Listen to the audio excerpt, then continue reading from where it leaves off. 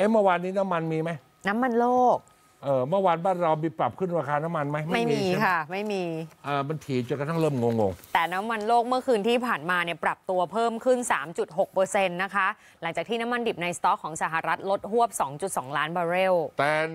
อะตัวเลขนี้เนี่ยพุ่งพรวดเลยนะ เฉพาะ NYMEX ค่ะ ที่ขึ้นไป 3.29 ดอลลาร์ Brent ขึ้นไป 2.59 ดอลลาร์ แต่น้ำมันสำเร็จรูปตลาดสิงคโปร์ยังคงเป็นขาลงนะคะ ปรับลดลงเมื่อคืนที่ผ่านมา 84 เซน โล่งอก ใช้คำว่าโล่งอกจริง